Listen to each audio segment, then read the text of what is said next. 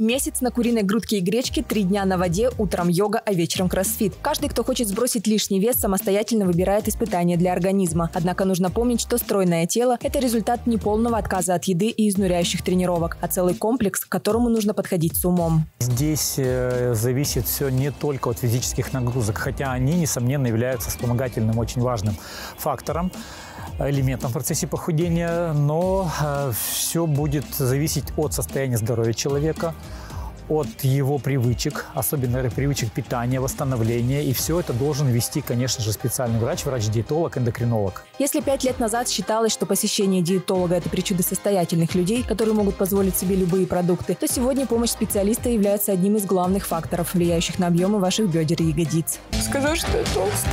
Повернись. Блин, что, стрёмно, да? У тебя просто кость широкая стала.